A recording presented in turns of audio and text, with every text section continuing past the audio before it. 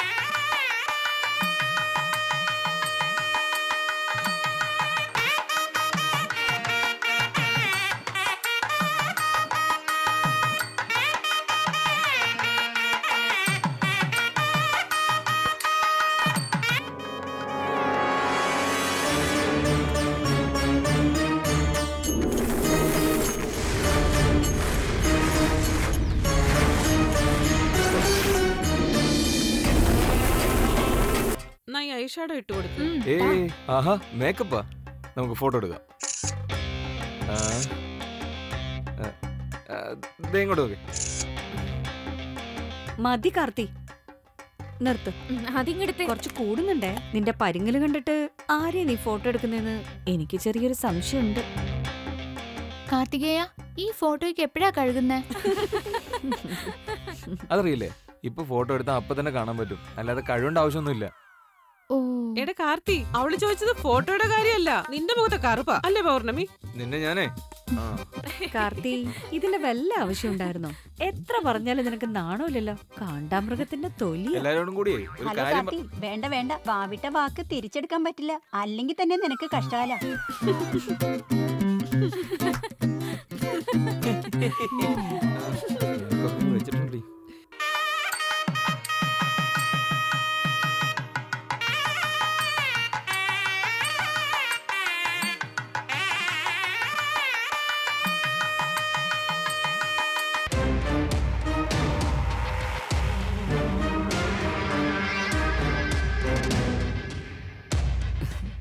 നമസ്കാരം.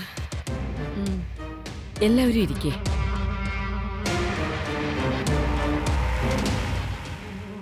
എന്റെ മകൻ മുരളി നിങ്ങളുടെ കുടുംബത്തെക്കുറിച്ച് എല്ലാം പറഞ്ഞു. വളരെ സന്തോഷമുണ്ട്. നിങ്ങൾ കല്യാണത്തിന് വേണ്ടി ഒരു പൈസ പോലും ചെലവാക്കണ്ട. പൗർണമി ഈ വീട്ടിലെ പെണ്ണ. സ്വർണായിട്ടും പണമായിട്ടും നിങ്ങൾക്ക് എത്രയാ ആവശ്യമെന്ന് വെച്ചാൽ ചോദിക്കാം. അവൾക്ക് കൊടുത്തില്ലെങ്കിൽ പിന്നെ ഞങ്ങൾ ആർക്കാ കൊടുക്കുക കല്യാണം നമുക്ക് വളരെ ആഘോഷമായിട്ട് തന്നെ നടത്താം. ശരി. ചെറുക്കന് എന്താ ആവശ്യമെന്ന് വെച്ചാ മടിയൊന്നും കൂടാതെ ധൈര്യമായിട്ട് പറയാം. എന്താ നിങ്ങൾക്ക് സമ്മതല്ലേ ഞങ്ങൾക്ക് സമ്മതക്കുറവൊന്നുമില്ല. താങ്കൾക്കോ? അത് പിന്നെ ചോദിക്കാനുണ്ടോ? എനിക്കും സമ്മതം. ഇവൻ കൊള്ളാലോ. മോഹൻ ഞങ്ങളുടെ പൗർണമി ഒരു നിഷ്കളങ്കയായ കുട്ടിയാ. ശരിക്കു പറഞ്ഞ ഒരു കൊച്ചു കുട്ടിയുടെ സ്വഭാവ അത്രയ്ക്ക് പാവ അവൾ. നമുക്കൊക്കെ നമ്മുടെ വീടാണ് ലോകമെങ്കിൽ പൗർണമിക്ക് ഈ ലോകം തന്നെ അവളുടെ വീട് പോലെയാ. എല്ലാവരെയും അവൾ ഒരുപോലെ കാണാ. ആരോടും പെട്ടെന്ന് കൂട്ടുകൂടും അവൾ. അങ്ങനെ ഒരു കൂട്ട് തുടങ്ങിയാലോ അവർക്ക് വേണ്ടി മരിക്കാനും തയ്യാറാകും അല്ലെങ്കിൽ നിങ്ങൾ നോക്കിക്കോ. ഞങ്ങളുടെ പൗർണമിയെ നിങ്ങൾ കല്യാണം കഴിച്ചാൽ എല്ലാ ഐശ്വര്യവും നിങ്ങളുടെ ജീവിതത്തിലുണ്ടാകും. ഞങ്ങളുടെ വീട്ടിലെ പെൺകുട്ടിയെ പൊക്കി പറഞ്ഞതല്ല. സത്യമായിട്ടും പൗർണമിയെ കല്യാണം കഴിക്കുന്ന ആൾ ഭാഗ്യം ചെയ്തയാളാ. എന്താ ശാരദ ഇതൊക്കെ? അമ്മയും മോനും കൂടെ ചേർന്ന് ചെക്കനെയും ചെക്കന്റെ വീട്ടുകാരെ ശരിക്കങ്ങ് സോപ്പിടുന്നുണ്ടല്ലോ. നമ്മുടെ മോളിങ് വരട്ടെ. ആർക്കെതിരെ അടി കിട്ടുമെന്ന് അപ്പം മനസ്സിലാവും. എന്റെ ഗുരുവരപ്പ ഇവരെ കൂട്ടിക്കൊണ്ട് വന്നതിന് ആദ്യം എനിക്ക് തന്നെ അടി കിട്ടുവോ? അയ്യോ. ചിരിച്ചോ ചിരിച്ചോ. നല്ലോണം ചിരിച്ചോ. ബാക്കിയുള്ളവന്റെ ചങ്ക് വേവുക ഇരിക്കുന്ന ഇരിപ്പ് കണ്ടില്ലേ?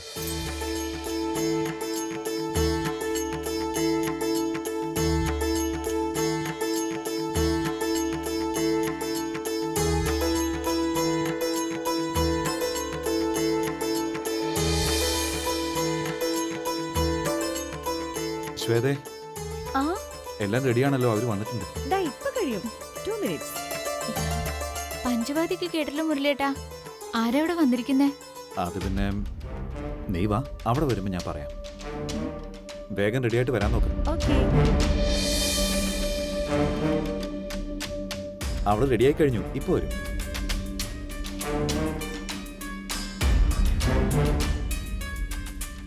മണിക്കുട്ടി എന്തൊരു സുന്ദരിയ. ഞാൻ തന്നെ നിന്നെ അങ്ങ് കെട്ടിയാലോന്ന് തോന്നിപ്പോവാ. എന്ന് കെട്ടിക്കോ? ഓക്കെ കം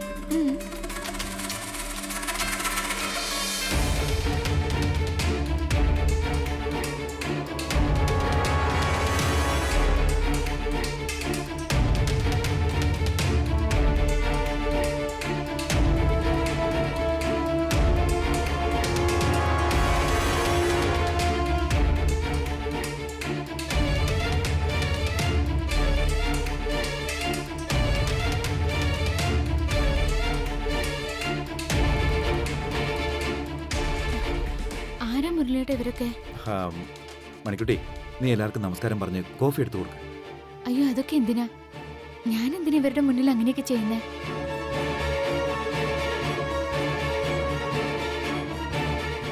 എന്താ എന്റെ ചോദ്യത്തിന് ആരും ഉത്തരം പറയാത്ത? ഞാൻ നിന്റെ നന്മയ്ക്ക് വേണ്ടി ചെയ്യുന്നതെന്ന് വിചാരിച്ചാൽ മതി.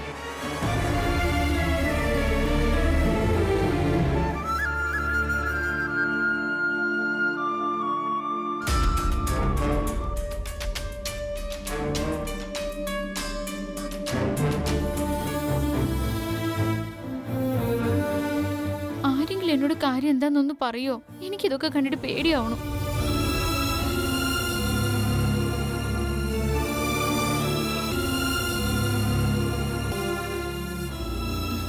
എന്താ അമ്മ ഇത്?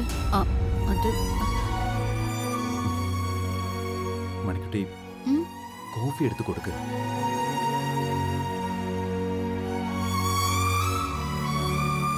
എന്നാ ശരി. ആ കോഫി ഇതാ ഞാൻ തന്നെ കൊടുക്കാം. മുരളിട്ട ഞാൻ കൊടുക്കാം.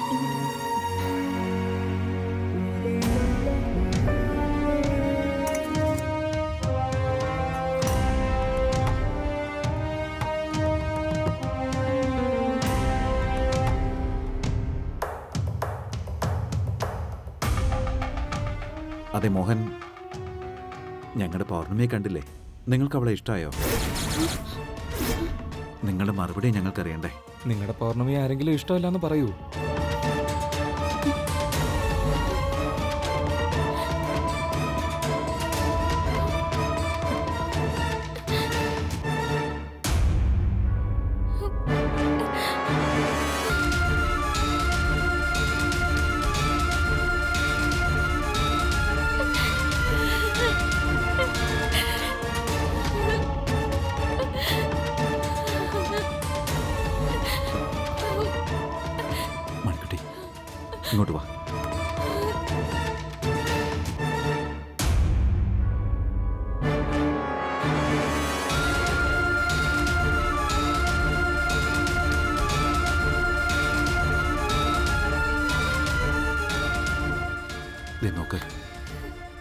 എല്ലാവരുടെയും മുമ്പിൽ വെച്ച് ദയവ് ഇതിങ്ങനെ കരയാതിരിക്കും നീ കേട്ടല്ലോ? ചെറുക്കന് നിന്നെ നന്നായിട്ട് ഇഷ്ടപ്പെട്ടു. നല്ല വിദ്യാഭ്യാസമുള്ളവനാ. കുടുംബമാണെങ്കിലും നല്ലൊരു കുടുംബ. നമ്മൾ എങ്ങനെ തെരഞ്ഞു കണ്ടുപിടിച്ചാലും ഇത്രയും നല്ലൊരു ബന്ധം ഇനി നമുക്ക് കിട്ടില്ല. എന്താ നിന്റെ അഭിപ്രായം?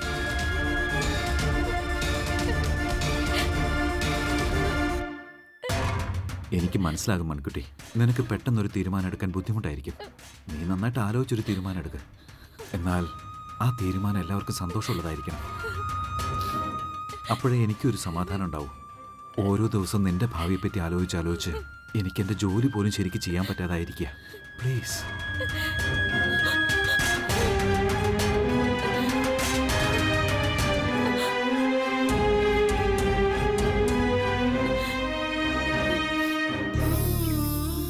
എന്താ മണിക്കുട്ടി?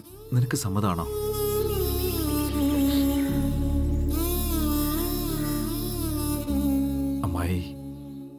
മണിക്കുട്ടിക്ക് എതിർപ്പൊന്നുമില്ലാന്ന് വിചാരിക്കുക അല്ലേ? എന്റെ വാക്ക് നീ അനുസരിക്കില്ലേ മണിക്കുട്ടി എന്ന് ചോദിച്ച്? എന്നെ ഒരു പമ്പര വിട്ടിയാക്കിയില്ലേ മുരളിയേട്ട. ഇങ്ങനെ ഒരു കല്യാണത്തിന് ഞാൻ സമ്മതിക്കില്ല എന്നറിഞ്ഞോണ്ട് ആ പയ്യൻ എനിക്ക് ഇഷ്ടമായില്ല എന്ന് മറ്റുള്ളവരുടെ മുന്നിൽ വെച്ച് എങ്ങനെ ചോദിക്കാൻ തോന്നി?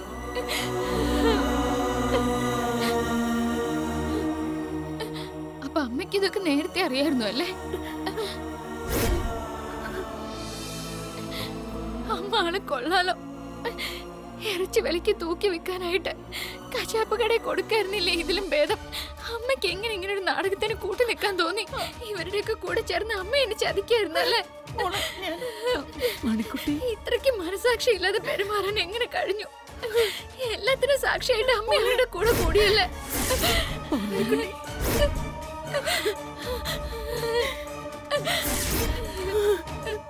മണിക്കുട്ടി അവരെ നീ വെറുതെ കുറ്റപ്പെടുത്തണ്ട. ഞാൻ തന്നെ അവരോട് മണിക്കുട്ടിയോട് ഒന്നും പറയാതെ വേണം കൂട്ടിക്കൊണ്ടുവരാനെന്ന് പറഞ്ഞത്. ഞാൻ നേരിട്ട് അവളോട് സംസാരിച്ച് മണിക്കുട്ടിയെ കൊണ്ട് സമ്മതിപ്പിച്ചോളാന്നും പറഞ്ഞിരുന്നു.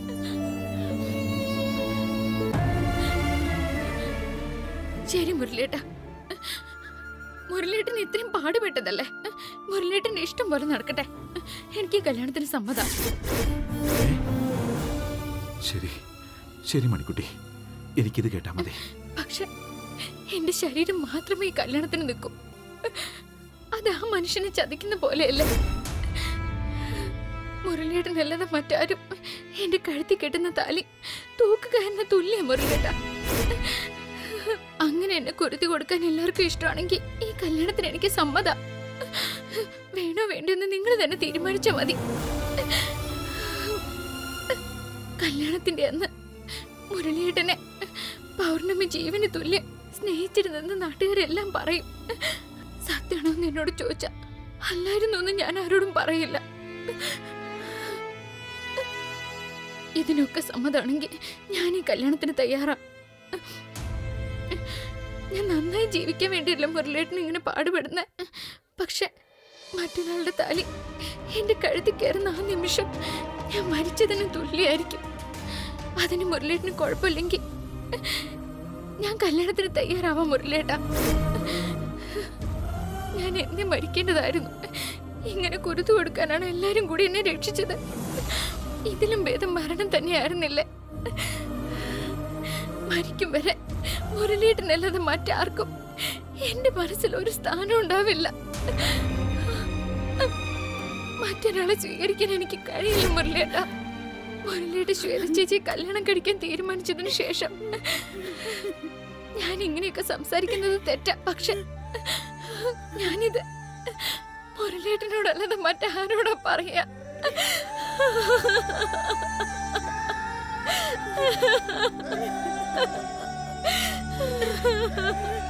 ഇപ്പൊ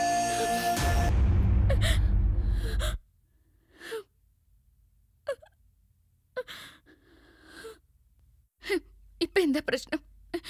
ഞാൻ അവരുടെ എല്ലാവരുടെയും മുന്നിൽ ചെന്ന് സമ്മതാണെന്ന് പറയണം. അത്രയല്ലേ ഉള്ളൂ.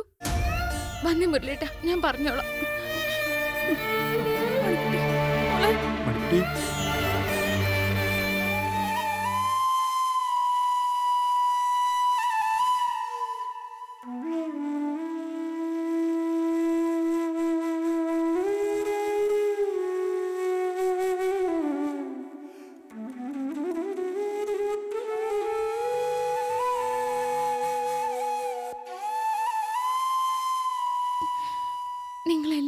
ക്ഷമിക്കണം. എല്ലാവരും ഞാൻ വല്ലാതെ ബുദ്ധിമുട്ടിച്ചു. തെറ്റെന്റെ ഭാഗത്ത് തന്നെ ഈ ഒരുക്കങ്ങളൊന്നും ഞാൻ അറിഞ്ഞിരുന്നില്ല. പെട്ടെന്ന് ഇതൊക്കെ കണ്ടപ്പോ ഞാൻ വല്ലാതെ അങ്ങ് പേടിച്ചു. ഇപ്പോഴാണ് മുരളിയേട്ടൻ എന്നോട് കാര്യങ്ങളെല്ലാം പറഞ്ഞത്. എന്റെ തീരുമാനം എന്താണെന്ന് ഞാൻ എല്ലാരോടും പറയാം.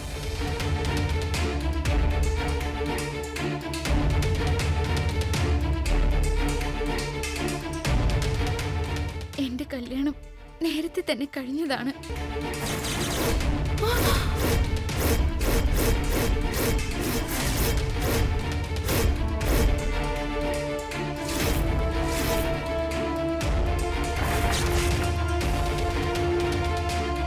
പക്ഷെ എന്റെ കല്യാണം കഴിഞ്ഞ കാര്യം ഞാൻ വീട്ടിൽ ആരോടും പറഞ്ഞിരുന്നില്ല.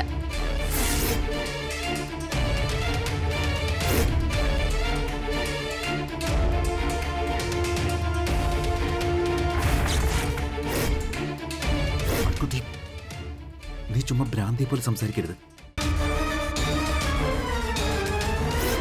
എന്റെ കല്യാണം നേരത്തെ കഴിഞ്ഞതാ.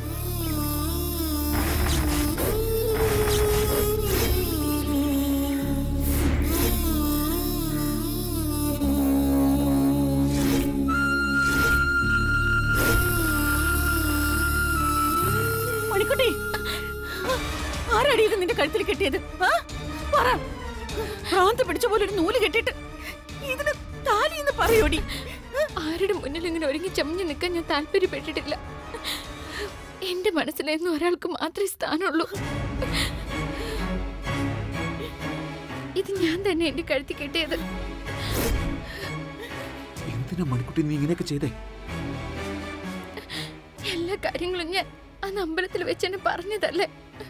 മുരളിയേട്ടന്റെ കല്യാണം കഴിഞ്ഞതിന് ശേഷം ശ്വേത ചേച്ചിക്കും മുരളിയേട്ടനും ജനിക്കുന്ന കുഞ്ഞിനെ വളർത്തി ആ സന്തോഷത്തിൽ ഞാൻ എന്റെ ജീവിതം ജീവിച്ച് തീർത്തോളാന്ന്. എന്റെ ആഗ്രഹത്തിന് തടസ്സമായിട്ട് ആര് നിന്നാലും എനിക്കത് സമ്മതമല്ല. അതിനുള്ള പരിഹാരമായിട്ട് ഞാൻ ഇങ്ങനെ ഒരു കടുങ്കൈ ചെയ്തത്. ഇതല്ലാതെ മറ്റൊരു മാർഗം എന്റെ മുന്നിലില്ലായിരുന്നു. ആരെ എതിർക്കാനുള്ള ധൈര്യം എനിക്കില്ല. മുരളിയേട്ടന്റെ അല്ലാതെ മറ്റൊരാളുടെ പേരിന്റെ കൂടെ എന്റെ പേര് ചേർത്ത് പറയുന്നത് പോലും എനിക്ക് ഇഷ്ടമല്ല ഈ പ്രായത്തിനിടയ്ക്ക് ഒരു പെൺകുട്ടി അനുഭവിക്കാവുന്നതിന്റെ പരമാവധി ഞാൻ അനുഭവിച്ചു കഴിഞ്ഞു. അതുകൊണ്ട് അന്ന് മുരളിയേട്ടൻ എന്നെ കണ്ട് സംസാരിച്ചു പോയതിനു ശേഷം ഞാനായിട്ട് ഇങ്ങനൊരു തീരുമാനം എടുക്കുമായിരുന്നു. എന്നെ പിടിച്ചു നിർത്താൻ എന്റെ മുന്നിൽ ഇതല്ലാതെ മറ്റൊരു വഴിയുമില്ലായിരുന്നു. ശബരിമല കയറാൻ പോകുന്നവര് ഇരുമുടിക്കെട്ട് നിറയ്ക്കുമ്പോ അയ്യപ്പനെ മനസ്സിൽ ധ്യാനിക്കുന്ന ഇഷ്ടദൈവത്തെ മനസ്സിൽ ധ്യാനിച്ചുകൊണ്ടാ മനുഷ്യര് പൂജ നടത്തുന്ന. അത് തന്നെ ഞാനും ഇപ്പൊ ചെയ്ത. ഇത് ഞാൻ മുരളിയേട്ടന്റെ മനസ്സിൽ ധ്യാനിച്ചുകൊണ്ട് കിട്ടിയതാ. ഇതിന് നിങ്ങൾ എന്നെ എന്ത് പേര് വേണമെങ്കിലും വിളിച്ചോ? മണ്ടിന്നോ വിവരദോഷിന്നോ? എനിക്കിത് മുരളിയേട്ടൻ കിട്ടിയ താലിയ.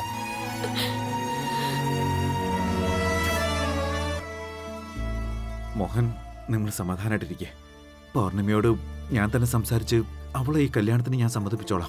എന്താ നിങ്ങൾ അവളോട് പറയാൻ പോകുന്നത് സർ?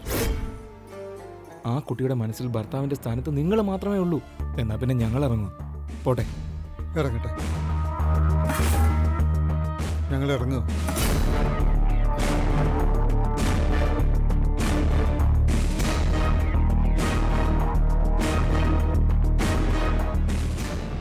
ദേ ഇങ്ങോട്ട് നോക്കും മണിക്കുട്ടി. ഇത്രയും നാൾ നീ ചെയ്തതൊക്കെ നിന്റെ അറിവില്ലായ്മ കൊണ്ടാണെന്ന് ഞാൻ വിചാരിച്ചത് പക്ഷെ നീ ഇപ്പൊ കാണിച്ചതുണ്ടല്ലോ കുറച്ച് കടന്നുപോയി. ഇത് വേണ്ടായിരുന്നു. ആദ്യം നീയായിട്ട് കെട്ടി ഈ താലി. ആ നൂൽ അഴിച്ച് കളയാൻ നോക്ക്.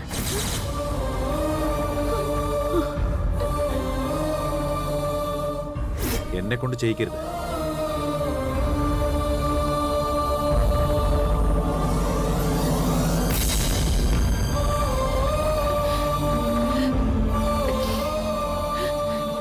ശരി മുരളിയേട്ട. മുരളിയേട്ടൻ അങ്ങനെ പറഞ്ഞ പിന്നെ എനിക്ക് നിരസിക്കാൻ പറ്റില്ലല്ലോ. എന്റെ ജീവൻ നിലനിൽക്കുന്നത് മുരളിയേട്ടന് വേണ്ടിയെന്ന് എല്ലാവർക്കും അറിയാം. ഇന്നിപ്പോ മുരളിയേട്ടൻ ഈ താലി അഴിച്ചു കളയാൻ പറഞ്ഞ സ്ഥിതിക്ക് ഇത് അഴിക്കുന്ന അടുത്ത നിമിഷം എന്റെ ജീവനും ചിലപ്പോ എന്നെ വിട്ടു പോയെന്നിരിക്കും.